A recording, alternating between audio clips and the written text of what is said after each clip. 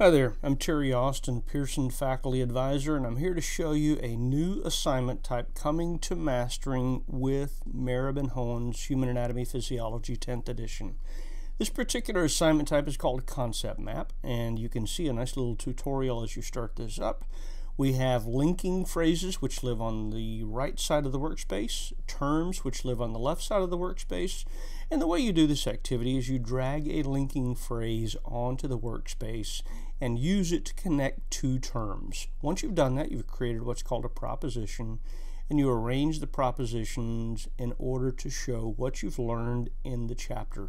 These, at least in my mind, are probably best done once a student has completed the chapter and they give them a nice way to frame what they've learned as they've gone through the chapter.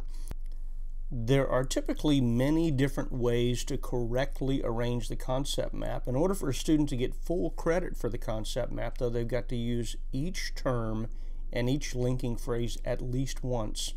All the propositions have to be scientifically correct, and every single proposition must connect to another proposition. If there are any incorrect propositions, the students may still get partial credit.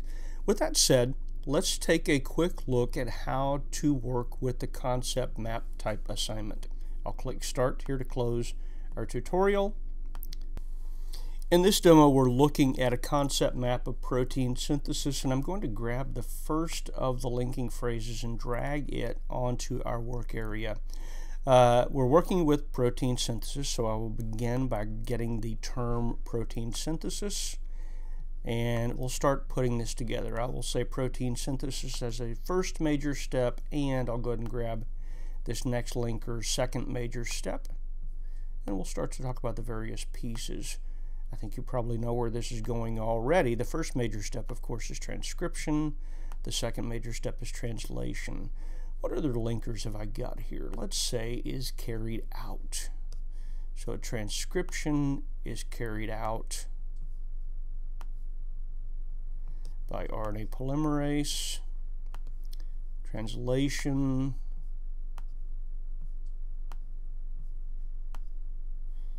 is carried out by a ribosome. We have occurs in.